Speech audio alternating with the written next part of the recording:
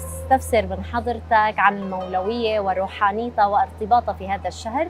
فنبدأ معك بأنه تعرفنا عن حضرتك. اسم محمد يحيى حمامي شيخ الطريقة المولوية في مدينة حلب. أهلا وسهلا. الله يسلمك آه حابين نعرف من أين نشأت المولوية وما هو المقصود بكلمة المولوية ومعناها؟ الله المولوية أتت من من مولانا. طبعا هو مؤسس الطريقة المولوية. مولانا جلال الدين الرومي مولانا جلال الدين الرومي ولد في مدينة بلخ 30 أيلول 1207 ميلادي 6 ربيع الأول 604 هجري في مدينة بلخ. وتتلمذ على يد والده سلطان ولد تعلم من والده العلم. طبعا هو والده كان عالما وجده كان عالما. ولقبه جده بجلال الدين.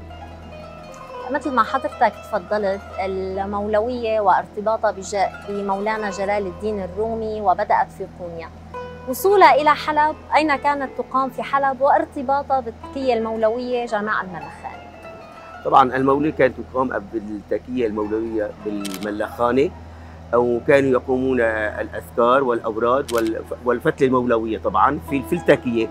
آه طبعا كان المريدين آه يعني الدراويش المولوية كانوا يبيتون وينامون في الملخانة آه طبعا ولهم أورادهم ولهم كان طقوسهم الفتلة والأذكار وكان يقام في الأسبوع يومين الاثنين والخميس كان يقام ليلتان في في تكية الملخانة. فوقفت التكية المولى عام 1952 وبعد ذلك انتقلت من الملخان من التكية الملخانة إلى الزوايا وظلت مسابرة إلى حد إلى يومنا هذا. يعني بس المهم أن المولية ظلت مسابرة في التكايا والزوايا ولكن في.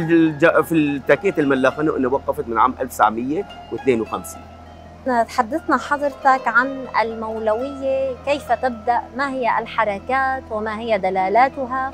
واللباس ودلالاته المولي اللباس المولي يتألف من التنورة البيضاء وترمز إلى الكفن الدرويش. اللباس الأبيض يرمز الكفن هذا كفن الدرويش. ويرمز إلى النهار والجبة ترمز إلى الليل. فعندما يخلع الدرويش الجبة يخلع عنه هذه الحياة ويرتفع بروحه إلى السماء عندما يبدأ بالفتلة الكلا الكلا يقال له نحن لوحة القبر الشاهدة يعني شهادة القبر. لوحة القبر. واليد ارفع يدك اليمين عندما عندما يرفع الدرويش يده إلى إلى اليد اليمنى إلى السماء يطلب الدعاء والبركة من السماء. وعندما يمد يده اليسرى إلى الأرض يأخذ من البركات والدعاء من السماء ويطرحها إلى الخلق في الأرض. أما في كمان حركات ضفتون يعني أنا هدول اللي يرفع يديه يرفع يديه إلى السماء يطلب الدعاء. والحركة الثالثة عندما يحط الدرويش يده على كتفه اليمين واليسار فإنه يقول أعلم يا إنسان إن لديك ملكين رقيب وعتيد. اليمين يكتب الحسنات وعلى اليسار يكتب السيئات. وعندما يضعه على عندما يضعه يطلب المدد من الله سبحانه وتعالى يضع يده على القلب. أما الحركة أما الحركة هي اسمها باش كاس أي السلام. كيف يقول السلام عليكم؟ يعمل الدرويش هذا السلام الدرويش إلى بعضهم البعض يقول هو الله. ما هي أبرز الأناشيد والأذكار التي ترافق المولوية وارتباط المولوية والأذكار بعيد المولد النبوي الشريف؟ صلى الله عليه وسلم. طبعا هي المولوية طبعا هي يفتل الدرويش يفتلون الدراويش المولوية على الأناشيد الصوفية طبعا.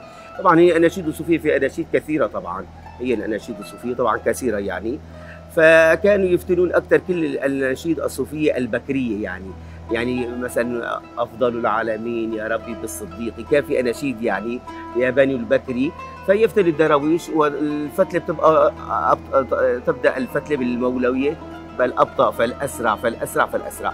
إلى النشوة يعني مثل ما بقول إلى النشوة الذروة عندما يصعد روحه إلى السماء. يحس الدرويش إنه روحه تصعد إلى السماء.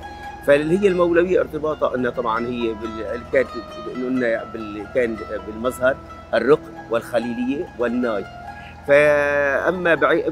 بالنسبة للأعياد طبعا كان هن في عدة أعياد. يفتلوا بالأعياد ليلة القدر آه، ليلة النصف من شعبان آه، بمولد الرسول صلى الله عليه وسلم ب 12 ربيع الأول. فكانت في كل ليلة الإسراء والمعراج. فكل مناسبة كانت كان في لهم أذكار وكان لهم حضرات ولهم آه، طقوسهم الطريقة المولد حابين نعرف رأيك بشركة رحى يلي عم تهتم بتوثيق التراث آه، بكافة أهميته الدينية الاجتماعية والتاريخية. شو رأيك بشركة رحى آه، الله يجزيكم الخير والله يبارك فيكم. طبعا شيء جميل طبعا أنتم عم بتنسكوا هالأمور يعني آه، فبارك الله بكم. يعني آه، هالأمور يعني أحسن ما عم تندرس سر. يعني هالأمور عم بتوضحوها وعم بتوثقوها وعم بتصوروها فجزاكم الله كل خير والله يبارك فيكم ويحفظكم يا رب. يعطيك ألف عافية. شكرا. الله آه، شكرا على المعلومات القيمة. طبعا نحن كنا. بحاجتها آه، تتم لنا إياها وخاصة بهي الأيام. يعطيك ألف عافية.